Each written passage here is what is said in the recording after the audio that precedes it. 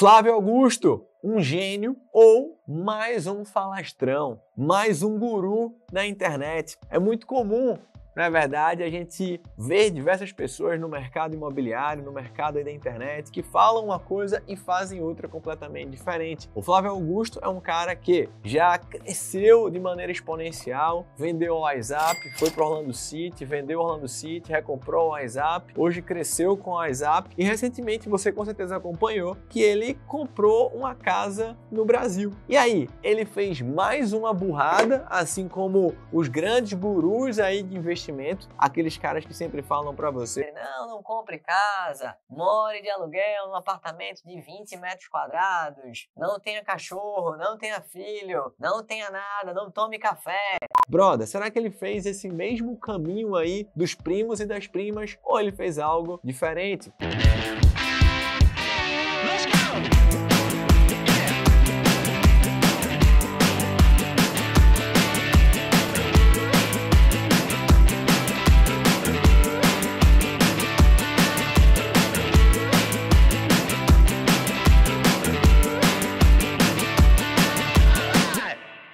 Tivemos um caso curioso do primo dos primos, inclusive documentado aqui no nosso canal. Procure aí, ó, como o primo rico perdeu um bilhão de reais, onde a gente mostra a loucura que foi a compra da sua casa, depois a demolição da sua casa e, em sequência, a reconstrução da sua casa. Até porque, meu amigo, se você busca construir uma casa, não faz sentido você comprar uma casa, demolir uma casa e refazer uma casa se você mesmo comprou o terreno da frente e deixou ele parado. E outra, não faz ainda mais sentido se você trabalha com investimento, você sabe que o dinheiro ali aplicado a 12, 15, 20% ao ano, e você consegue ter acesso a isso hoje, é muito mais vantajoso do que você utilizar o seu capital próprio na construção, onde você pode contratar um crédito de 8% ao ano, de 9% ao ano, de 10% ao ano, na pior das hipóteses. Então, como foi o caso do Flávio Augusto? Caso esse que ele postou nas suas redes sociais, postou nos seus stories, é amplamente divulgado, então não é uma informação que o Diego sabe, sigilosa e que ninguém tem acesso. Flávio Augusto ele veio lá dos Estados Unidos para o Brasil, como eu falei para você,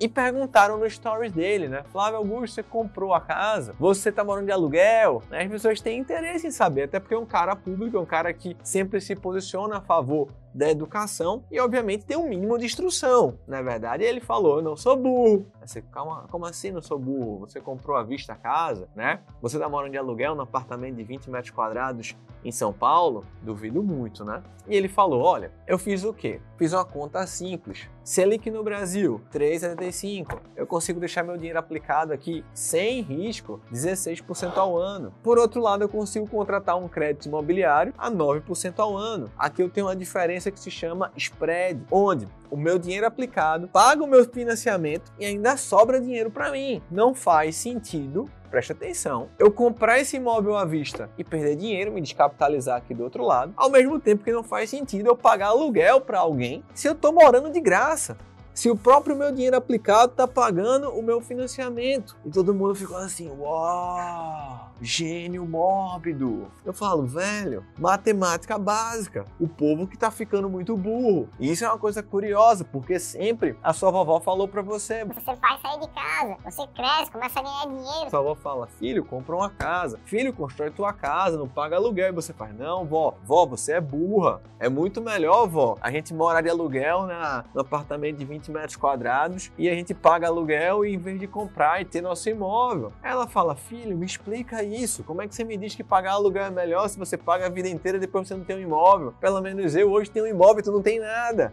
Sendo que é tanta loucura atrás da outra que o cara vai moldando a mente do cara para ele pensar assim: é realmente, pô, é melhor pagar algo e não ter nada do que eu pagar algo e ter. E aí você tem uma realidade no Brasil que é: as pessoas falam para você, olha, não tenha seu imóvel, morde aluguel. E aí, no final das contas, elas mesmas, quando ganham dinheiro, fazem ainda a besteira de comprar à vista, na é verdade. E outra besteira ainda maior, não construir. No caso do Flávio Augusto, por exemplo, obviamente ele poderia construir, mas ele precisou o quê? De urgência. Saiu de um país, veio morar no outro país, já queria uma casa pronta. Ótimo. E melhor ainda para aquela pessoa que construiu a casa para o Flávio Augusto. Porque se ele comprou sua casa lá de 15, 20, 30 milhões, alguém construiu pela metade do valor. O Flávio Augusto achou legal, porque ele deixou seu dinheiro aplicado e comprou a casa do cara. E o cara que fez a casa pela metade do preço, ou por, sei lá, 30% a menos do preço, botou ali seus bons milhões no bolso. E aí você tem dois cenários que eu quero te apresentar. Primeiro, você pode ser esse cara que constrói essa casa para as pessoas e ganha dinheiro na construção e na venda. E o melhor de tudo, você pode construir com o dinheiro do banco, ou você pode simplesmente ser aquele cara que vai informar para o seu cliente: cliente, não escuta o primo dos primos, o cara só faz merda. Vê esse vídeo aqui, ó, o cara perdeu um bi e agora que se separou, lascou, né? Tem que trabalhar dobrado. O cara se separou,